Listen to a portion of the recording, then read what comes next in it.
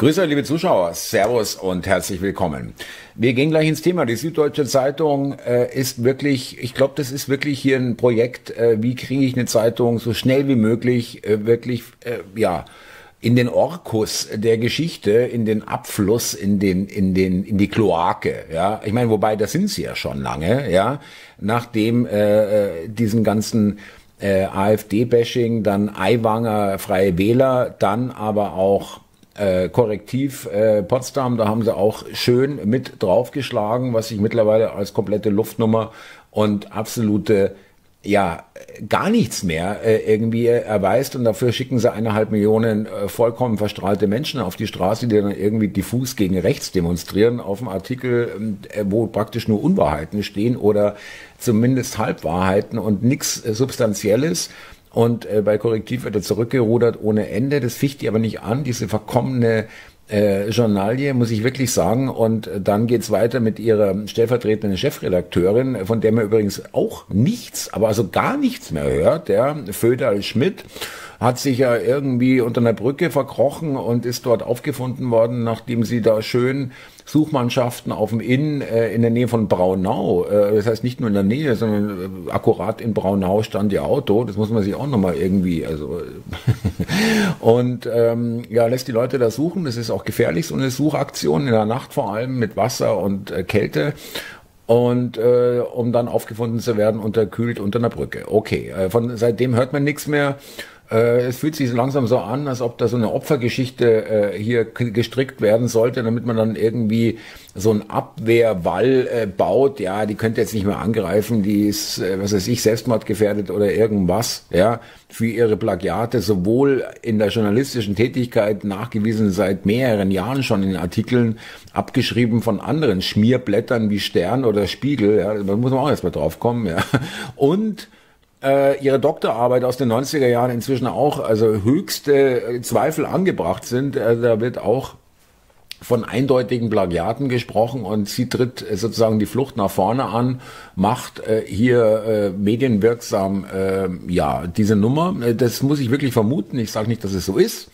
Aber äh, man sollte ja auch immer alle Möglichkeiten abwägen und vielleicht nicht die erste, die uns präsentiert wird, als wahr äh, wahrnehmen. Ja, und jetzt geht die Süddeutsche weiter. Und äh, wenn man sich überlegt, wir haben Platz, leave no one behind.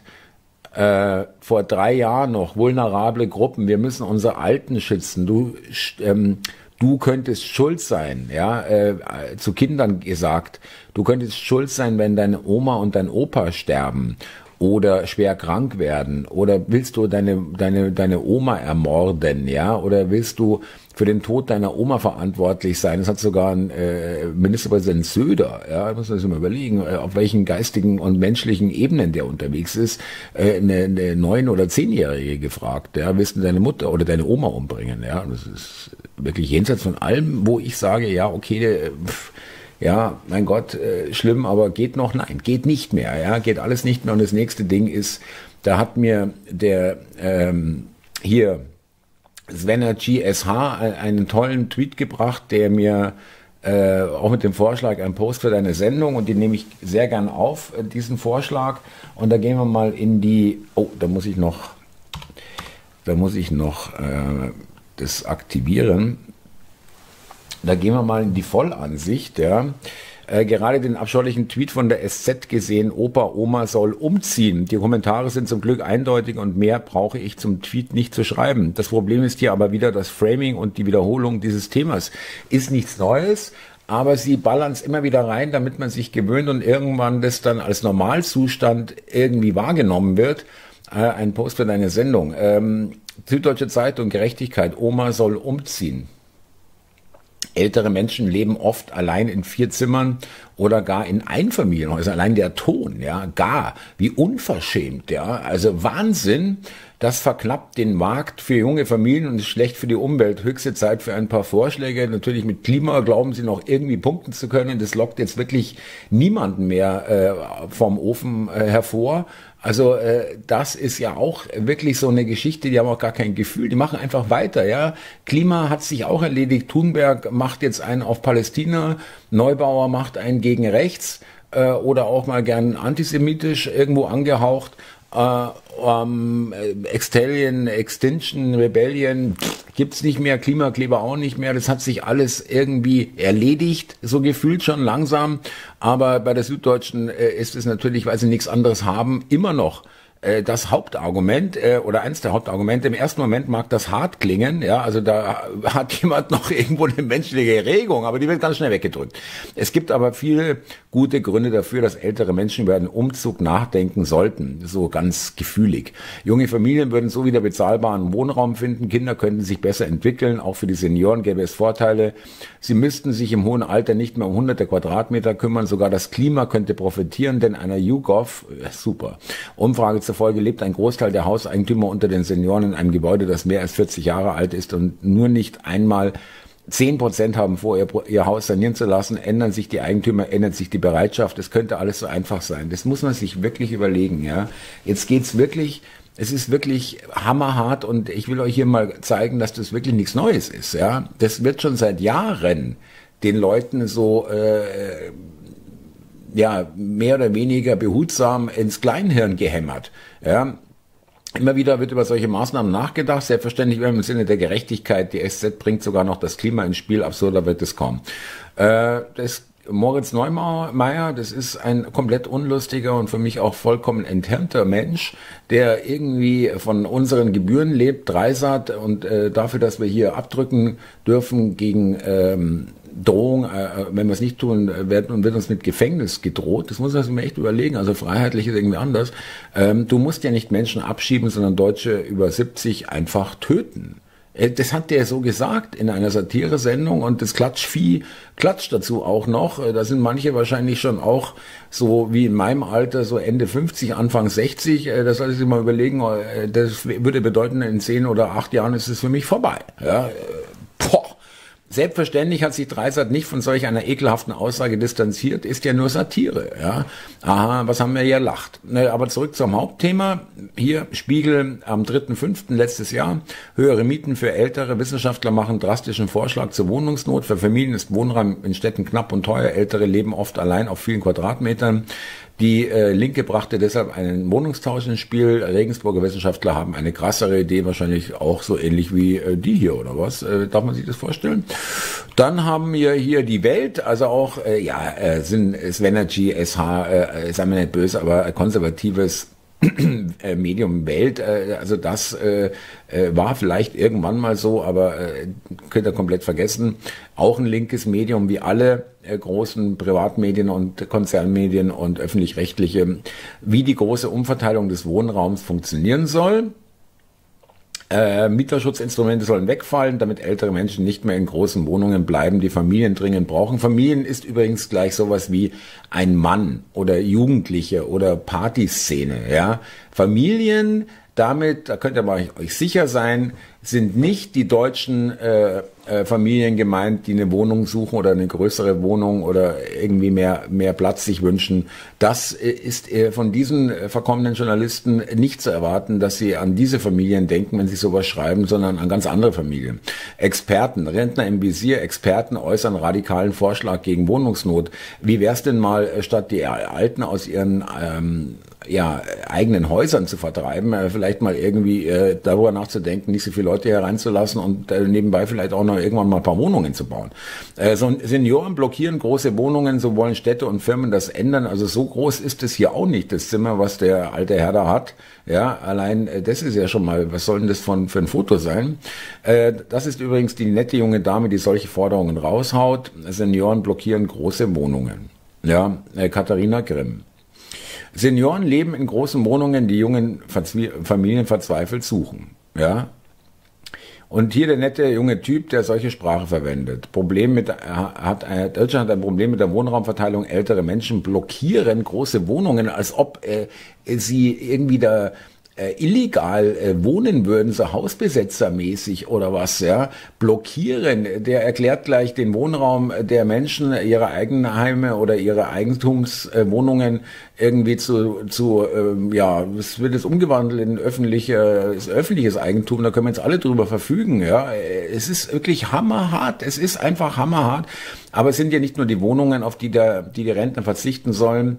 Jugendpolitiker fordert, die Rentner müssen auf Geld verzichten. Ja, vielleicht äh, sind es dann doch zu wenige, die Flaschen sammeln müssen oder einfach am Ende des Monats schauen müssen, dass sie noch irgendwie paar Nudeln mit Tomatensauce zusammenkriegen. Das ist er hier, ähm, Jörg Temmel, Politikwissenschaftler und Philosoph. Also er geht das Ganze philosophisch an. Rentner müssen auf Geld verzichten, ganz einfach. Dann haben wir hier, wenn Rentner umziehen, würde das die Wohnungsnot lindern. Thorsten Gier, Chefredakteur Markt und Mittelstand. Mittelstand. Mhm, super, Fokus. Und für wen die Rentner Platz machen sollen, na, für wen wohl? Äh, Berliner Kirchenstift wirft 110 Senioren raus und bringt dafür Geflüchtete unter. Alles schon passiert. Und noch so ein Artikel, wo es darum geht, den Alten ihr wohlverdientes Geld abzuknöpfen. Wirtschaftsweise fordert, hohe Renten kürzen, Beiträge anheben. Wir sind ja schon äh, ist ja nicht so, dass äh, wir das letzte Land äh, in Europa sind oder vielleicht sogar weltweit, ähm, was die Rentenzahlung und den Rentenbeitrag äh, angeht, nämlich äh, absolut äh, niedrigste Rente absolut äh, mit am höchsten das Renteneintrittsalter. Also in Italien geht, glaube ich, eine Frau mit 58 in Rente oder mit 59 in Frankreich und mit 60, 62. Also auf jeden Fall deutlich unter unserem Renteneintrittsalter. Ja, bekommen die ihre Rente oder haben äh, Anspruch auf ihre Rente. Äh, wir werden hier verarscht von, von, von, von wirklich von Hacke bis Nacke. Es ist wirklich und äh, ich kann nur sagen, ich kann mich nur wundern über die Zinsschnur der Deutschen, ja, also so langsam sollte mal da auch irgendwie mal äh, irgendwas zünden. Äh, und warum das Ganze? Vielleicht deshalb, Rentensystem vor dem Zusammenbruch. Ja, Arbeitgeberpräsident Dulger hat vor einem Zusammenbruch des Rentensystems gewarnt. Und warum wird es zusammenbrechen? Äh, warum ist das passiert? Bitte schön, Staat vergreift sich an der Rentenkasse, um äh, irgendwelche feministischen, äh, äh, weiß ich nicht, äh, gegen toxische Männlichkeit Projekte in Südafrika zu finanzieren. Umso verwunderlicher der Kampf der Alten gegen rechts. Klar gehen da nicht alle Alten auf die Straße, aber dennoch, man fragt sich, wo da die Altersweisheit geblieben ist, ganz genau. Ja, äh, sie feiern ihre eigenen Schlechter, wenn man so will. Äh, und noch dem Komiker, Moritz Neumeier, nur damit man mal sieht, wohin die Reise geht. Wir nehmen den Reichen ihr Vermögen und wenn sie uns, es uns nicht geben wollen, dann hängen wir die an Laternen auf. Ja, 23.05.23, Moritz Neumeier bei Die Anstalt. Äh, was, fällt, was fällt mir da ein? Da fällt mir direkt äh, der Illmeier ein. Ja, der hat äh, da auch von Laternen und Fensterkreuzen gesprochen. Äh, nur gut, dass wir 115 Millionen äh, allein dastehen, Alte haben alleinstehende Alte haben, die in großen Altbauwohnungen oder Villen leben und bald sozialverträglich dahinscheiden, denn nur so gibt es Platz für die 560 Millionen Passverloren, die bereits auf dem Weg zu uns sind. Ein bisschen überspitzt. Das versteht der ÖER unter sozialverträgliches Dahinscheiden. Es ist ein Wahnsinn. Ähm, und Oliver Gores hat es hier ganz gut äh, äh, auch dargestellt, äh, was äh, dann wirklich die Wahrheit ist, äh, wenn man so will, zumindest eine Twitter-Wahrheit, ja, weil die Reichweite der Süddeutschen, die tendiert wirklich im Verhältnis zu ihrer Folgerzahl wirklich gegen Null. Ja, SZ Wirtschaft, ältere Menschen leben oft allein auf vier Zimmern oder gar in Einfamilienhäusern, höchste Zeit für ein paar Umzüge da hat die doch tatsächlich hier 43 Likes bekommen bei 210.000 Ansichten. 43 Likes, das kannst du gar nicht mal ausrechnen, wie viel Prozent das sind, 0,000 irgendwas. Und wenn Opa in einem Schloss wohnt, weil er es sich leisten kann, geht euch Kommunisten das einen feuchten Kehricht an, das ist Privatsache, hat nur 7,7.000 ähm, äh, Ansichten, 1,3 äh, K 1300 Likes, ja. Äh, und äh, Oliver Gores ist kein kleiner Account, aber gegenüber der Süddeutschen nominell mit 1,8 Millionen, wobei SZ Wirtschaft hat ähm, knapp 100.000 oder 90.000, aber immer noch mehr als der Gores. Ähm, und vor allem 210.000 Ansichten, 1,1.000 ähm, Antworten. Und die sind nicht freundlich, ja. Die sind alle nicht freundlich. Jimmy, du bist echt der Hammer. Als ob er darauf warten würde, wenn ich mit dem Video anfange. Schon geil. Ja, ähm, und da komme ich noch dazu hier, ja. Äh, wir haben hier äh, SZ Wirtschaft, hier haben wir diesen äh, Tweet original, jetzt hat er mittlerweile 147 Likes, hier hatte er 43, hat aber auch äh, 693.000 Mal angezeigt. Hier waren es noch 210.000. Hier sind 693.000 und hat 147 Likes. Das, das ist absolut äh, desaströs. Ja, das ist desaströs. Okay, dann haben wir äh, hier ich habe die, ich, ich weigere mich mittlerweile wirklich komplett auch nicht mal über Archiv.org, ja. Ich habe gar keinen Bock mehr, äh, bei Spiegel, Stern und Konsorten und vor allem bei der Süddeutschen überhaupt noch aufzuschlagen. Wirklich, habe echt keinen Bock mehr, ja. Äh, äh Mache ich nicht mehr, schaue ich mir nicht mehr an, den gönne ich nicht mal einen, einen Besuch von einem Bezahl, äh, Bezahlschrankenartikel.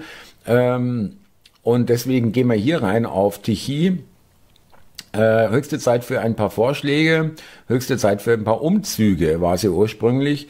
Äh, also da geht es jetzt erstmal um den Wohnungsbau, äh, dass das eben gar nicht hinhaut. Äh, 400.000 äh, Wohnungen, äh, neue Wohnungen jährlich. Und äh, seither hat sich die Lage auf dem Wohnungs- und Häusermarkt trotz Wärmepumpendesaster immer noch weiter verschärft. In dem Süddeutschen Zeitungsartikel stimmt, da, kommt davon gar nichts, ja, null. Auch für das neue Jahr gehen Ökonomen und die Baubranche davon aus, dass sich die Talfahrt im Wohnungsbau fortsetzt. Lediglich 225.000 Wohnungen äh, entspreche einem Rückgang von 45.000 Wohnungen im Vergleich zum Vorjahr, was schon schwach war. Ähm, in Berlin wird der als desolat zu bezeichnende Situation mitunter damit begegnet, dass Singles bei der Anmietung einer landeseigenen Wohnung nur noch kleine Wohnungen bekommen, ja, also bei landeseigenen Wohnungsbaugesellschaften. Und hier steht es, anstatt aber die Bundesregierung für ihre in mehrfacher Hinsicht absolut verfehlte Politik zu kritisieren, wählt die Süddeutsche Zeitung doch lieber wieder den Gang an den Bürger. Wir sind's. Mit einem Plädoyer, Ältere aus ihren für sie allein zu groß befundenen Wohnungen und Häusern zu bringen, um Platz für junge Familien zu machen, wobei junge Familien in diesem Zusammenhang für den erprobten zwischen den Zeilenleser ebenso ein Synonym geworden ist wie ein Mann. Und dann zitiere ich mal eine Formulierung aus dem Artikel. Das ist aus der gesamtgesellschaftlichen Sicht eine Katastrophe und wirft auch ethisch-moralische Fragen auf. Darf eine, Achtung, ethisch-moralisch, ja, ethisch-moralisch, äh, Sie schreiben es wirklich. Darf eine Bevölkerungsgruppe so leben, wie sie will, auch wenn sie damit einer anderen schadet? Und was darf der Staat tun, um dieses Ungleichsverhältnis zu ändern? Äh, da, da kann ich auch sagen, du atmest meine Luft weg. Ja, du, du trinkst mein Wasser weg, du äh, nimmst generell Platz weg, allein, dass du hier stehst auf der Straße im Gehsteig, auf dem Gehsteig, ja, wie weit kann ich denn, wie weit soll denn das gehen? Ähm, das heißt, äh, so leben, wie sie will, ja, äh, das ist doch wirklich Sozialismus pur, das ist einfach nur noch krank, ja, das hat mit gar nichts mehr was zu tun. Und was darf der Staat tun, um diese um, dieses Ungleichverhältnis? Nein, es ist kein Ungleichverhältnis. Die haben einfach mehr gearbeitet und haben einfach äh, äh, besser gewirtschaftet und konnten sich ein Eigenheim oder eine Eigentumswohnung leisten. Ja, zu ändern oder eine große Wohnung auch im Alter zu mieten. In einer sozialen Marktwirtschaft muss gelten, dass die eigene Freiheit darin besteht, dass man alles tun kann, solange es keine anderen schadet. Da kann ich auch sagen, ich, äh, da, da schade ich mit allem, was mit meiner einfach mit meiner bloßen schieren Existenz. Ja, das ist doch irre, einfach nur mit so Argumenten zu kommen. Nur wer sich nun diese Wohnungssituation anschaut, der merkt, da schadet eine Bevölkerungsgruppe der anderen ganz massiv. Wirklich entblößen die tiefroten sozialistischen Gedankenwelt der SZ-Autoren. Jahrelang bis heute, wir haben Platzpropagierer. Äh, Altersrassismus äh, äh, wäre das nämlich. Äh, und das ist die Sprache der Süddeutschen Zeitung. Zwangsumsiedlung, Heimatvertreibung, Seelenraub, Sozialattacke, Gesundheitsschädigung, Wohnungsausweisung, Wohnungseinweisung, Umweltschutz, Umzüge. Ja, und äh, da kommen sie mit äh, Deportation, was angeblich in Potsdam gesagt wurde, das ist eigentlich eine klassische Deportation. Gegen deinen Willen wirst du woanders hingebracht und sollst dort leben. Das ist eine klassische Deportation. Ähm, hier äh, gibt es verschiedene ähm, Kommentare, wieder gewohnt stabil, antifreiheitlich, ganz knapp vor, stirbt doch einfach, Oma soll umziehen. Und Nils Mischmeier von der SZ fordert eine Art Alleinwohnsteuer. Wenn ältere Leute sich weigern, ihr Eigentum an Familien abzugeben, SZ, Sozialistische Zeitung. Und äh, dann gehen wir mal hier hin, äh, das war der Kolja, aber hier will ich das mal kurz zeigen, das ist der äh, sympathische junge Mann, Nils Wischmeier, schreibt seit 2017 für die SZ. Das ist wirklich ein, wirklich, wirklich, also ich muss mich zurückhalten, aber diese Visage, also ganz ehrlich, das mache ich lieber wieder kleiner. Ja, das ist äh, irgendwie schwer erträglich. Und hier haben wir äh, den offiziellen Twitter-Account von Süddeutscher Zeitung der Allgemeine und da haben sie 1,8 Millionen Follower. Ja, und äh, jetzt haben Sie hier vor 33 Minuten, wir haben jetzt Samstag 15.02 Uhr, haben Sie nochmal diesen Artikel auf SZ, äh, auf, den Haupt, auf das Hauptkonto des äh, Ursprünglich war es nur auf dem hier, auf SZ Wirtschaft. Es hat äh, 90.000 Follower trotzdem auch bei 90.000 Followern und 693.000 Anzeigen 147 Likes ist, ist, ist desaströs. Würde ich wirklich das Ding runternehmen oder wird ganz von Twitter runtergehen, was einfach nur noch peinlich ist. Ja, Es ist nur noch peinlich. Da würde echt, äh, könnten sie sagen, nee, wir wollen auf dieser äh, rechten Plattform nicht mehr sein äh, und könnten dann noch elegant runtergehen. Aber das ist dann die Eitelkeit, die da im Weg steht. Äh, ich will nur noch mal ganz kurz zeigen, äh, wie lächerlich eigentlich dieser Twitter-Account ist, ganz ehrlich, ja, von der Süddeutschen Zeitung. Äh, wir gehen mal weiter runter in ältere Tweets, ja, weil das vielleicht dann auch äh, mehr Aussagekraft hat. Also sie, die twittern ja wie blöd, ja, die Praktikanten da haben genug zu tun, die, äh, äh, bevor sie ihre Windeln wechseln. Äh, da haben wir hier zum Beispiel äh, Flaschen verstecken vor der Sucht, da geht es um einen Film um eine Alkoholikerin. Äh, das Ding hat drei Likes, 5000 Ansichten. Dann haben wir hier ähm, Grundwasserschutzvorhang bei Eigentumsrechten hat 67 Likes. Wir, haben, wir, reden über eins, wir reden über einen Account mit 1,8 Millionen Followern. Äh, Deutscher Alltag, mein lieber Spahn, was das sein soll, weiß ich nicht, vier Likes, 5000 Ansichten. Hier haben wir 5199, vier Likes. Ja, also ich habe bei jedem Post und ich bin ein kleiner Account, ein winziger Account gegenüber der Süddeutschen Zeitung, wenn man jetzt nach den Zahlen, nach den Nominellen geht. Bei mir sind es knapp 33.000 und die haben irgendwie 1,8 Millionen. Äh, ich habe äh, äh, bei fast bei jedem Post ein bisschen mehr äh, Likes als die, ja, aber ich habe äh, einen Bruchteil von ihren Followern. Was ist hier los? 4000 Ansichten ist auch ein Witz eigentlich. Äh, ein, ein Like. Dann äh, hier ähm, Bolsonaro. Okay, das sind jetzt auch keine Kracherartikel. Krank zur Arbeit, 10 Likes. Das, ist von, das ist jetzt nicht neu, das ist vom 23. Februar, es ist gestern gewesen. Ja, Normalerweise müsste sowas dann schon auch ähm, irgendwann auch äh, gesehen werden und geliked werden. Selbst ähm, hier äh, Sport, äh, nix, ja, null Likes, ja, Cannabis auch gerade ein richtiges Thema. Äh, 23. Februar, ein richtiges geht gerade richtig rum. 7500 Ansichten, 7 Likes. Es ist wirklich, es ist wirklich die Süddeutsche Zeitung mit 1,8 Millionen Followern, nur damit ihr es nochmal seht. Ja, und äh, wenn man sich diesen Artikel hier anschaut, den haben sie jetzt nochmal auf dem Hauptaccount, da kommen jetzt schon neue, schämt euch. Ähm, wir haben Platz, haben was etwas weniges äh, in ihren Tweets vergessen, ihre Anschrift, richtig. Ähm, die Autoren dieses zynischen, menschenverachtenden Machwerks leben mit Sicherheit in einer top sanierten 160er Alp Quadratmeter Altbauwohnung in Schwabing oder in Heidhausen oder im Leel oder im äh, Nymphenburg, äh, hier Rotkreuzplatz auch gerne äh, oder Heidhausen, wie gesagt, äh, oder auch gerne draußen in Pullach oder sonst irgendwo in den Vororten. Da äh, sind die hochgespickten, vollgespickten SZ-Redakteure, ja, Oma ins Heim, oh Welt, es fehlen ja hunderttausende Heimplätze und kleine Wohnungen gibt es auch nicht, aber unter den Brücken findet sich vielleicht noch was. Auch ein guter Hinweis, ja wir haben Platz, naja, bei ihr wird es dann schwierig und ähm, kann der Opa nicht in ein Zimmer im Flüchtlingsheim umziehen, dann könnte schon wieder eine geflüchtete Familie menschenwürdig untergebracht werden. Netto hat der Opa doch schon so viele schöne Jahre im Haus gehabt und andere nicht. So könnte man für Gerechtigkeit sorgen. Äh, ich könnte es noch weiter vorlesen, machen wir mal an der Stelle einen, einen Halt. Da haben Menschen gespart, gearbeitet, Leistung gebracht, Entbehrungen auf sich genommen, Urlaube, auf Urlaube verzichtet, auf andere Annehmlichkeiten äh, verzichtet, weil sie unbedingt äh, ihr Eigenheim haben wollten, was vollkommen legitim ist. Ich äh, werte das überhaupt nicht. Ich finde es vollkommen legitim, ja. Äh, oder ihre Eigentumswohnung oder auch ihre teure Mietwohnung, ja, auch im Alter wollen sie sie behalten. Da sind, haben sie gelebt, da haben sie äh, ihre Kinder großgezogen. Ich wohne selber in einer Wohnung, in der ich seit 25 Jahren wohne, ja. Äh, äh, und ich mit der Familie damals hier gelebt habe und meine Kinder hier großgezogen habe.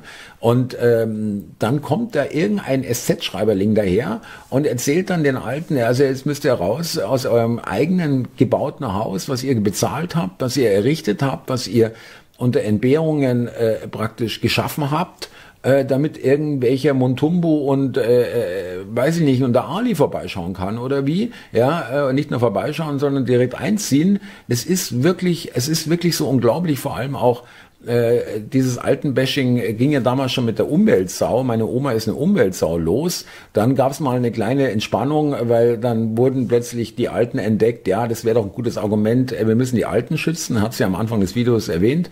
Und jetzt ähm, geht's weiter. Jetzt werden die Alten nicht mehr gebraucht als, wie soll ich sagen, äh, äh ja irgendwie Argument, um äh, uns irgendwie äh, irre Sachen in den Körper spritzen zu lassen. Ja. Und äh, jetzt geht's richtig weiter. Wie gesagt, nicht nur die Süddeutsche, das ist, scheint richtig Programm zu sein. Wahrscheinlich auch irgendwo äh, gleichgeschaltet, ja, nicht wahrscheinlich, sondern ganz sicher, ja. Das ist, soll in die Kleinhirne reingesickert werden. Äh, ja, warum brauchen die Alten eigentlich 150 Quadratmeter oder 100 Quadratmeter Wohnraum?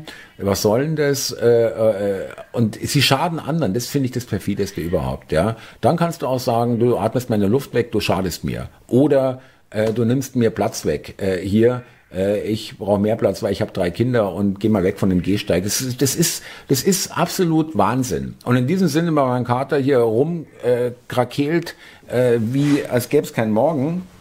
Oh mein Gott, das ist ein Video, wo es mir echt den Helm verbiegt. Der macht so eine, einen Lärm, der, der ist 15, der Kater. Tatsächlich ist er 15 Jahre aber immer noch sehr, sehr fit, darum geht, äh, seinen Willen durchzukriegen. Hammerhart. Und ähm, ja, nochmal ganz kurz. Also das ist sowas von menschenverachtend. Äh, und äh, aber man sieht, die gute Nachricht ist, sie werden überhaupt nicht mehr wahrgenommen. Ja, es ist wirklich es ist wirklich eine Gespensterdiskussion, äh, fast schon, weil sie werden nicht mehr gelesen und sie werden nicht, die Auflage geht seit vielen, vielen Jahren ohne große Aussetzer nach oben oder wieder mal irgendwie einen Sprung nach oben in der Kurve fast linear runter, ja.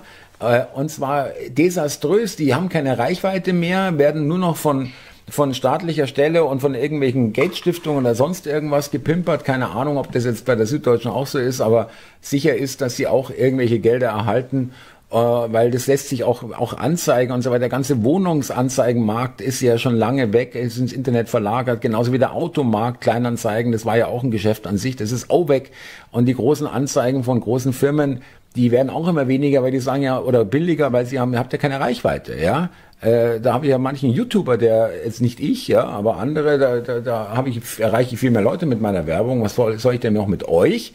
Und ähm, so ergeht es Ihnen und recht so, also wenn ich wirklich keine 50 Likes zusammenbekomme auf ein wirklich heißes Thema, was gerade wirklich im Trend ist, wie zum Beispiel Cannabis, dann äh, würde ich mir als Betreiber der Social Media Abteilung der Süddeutschen aber wirklich größte Sorgen machen oder die sagen sich, äh, ganz egal, wir sind auf der richtigen Seite der Geschichte und wir ähm, sind die Guten oder irgendwie so.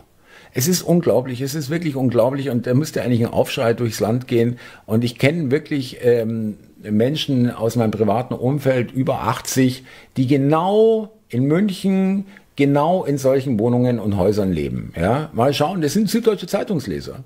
Ja, mal schauen, wie die das finden. Und viele andere in München, die ich nicht kenne, aber die gibt es. Mal schauen, wie die das finden ähm, dass sie jetzt äh, staatlicherseits, äh, das gefordert wird, dass sie staatlicherseits aus ihren Wohnungen Häusern gehen müssen, um äh, wohin eigentlich? Ja, die Frage ist natürlich auch überhaupt nicht beantwortet. Es gibt aber noch Brücken, weil es gibt keine Heimplätze, es gibt keine kleinen Wohnungen, äh, es eben auf dem ganzen Wohnungsmarkt äh, super angespannt ist. Die sind alle verrückt geworden. Ich danke euch fürs Zuhören und fürs Zuschauen, liebe Leute. Ja, wieder mal äh, ein bisschen Kater-Video dazwischen.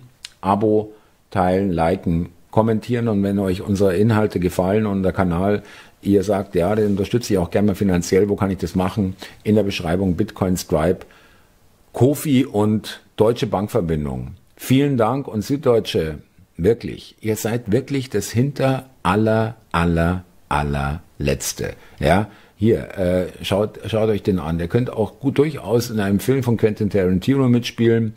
Äh, und äh, ihr könnt euch denken, welche Rolle ich ihm da zugedenke. Ja, also wirklich ein Klassiker eigentlich. In diesem Sinne. Lecker mio. Nee, das will ich nicht zum Schlussbild machen. Das ist mir zu fies. Macht es gut, ihr Lieben. Bis zum nächsten Mal. Danke und Servus Nahat. Oh Mann, also das war jetzt zum Schluss äh, wirklich nicht notwendig. Äh, da bitte ich mal um Entschuldigung, ja, bei meinen, unseren werten Zuschauern. Das äh, möge man mir verzeihen, dieser kleine Fauxpas.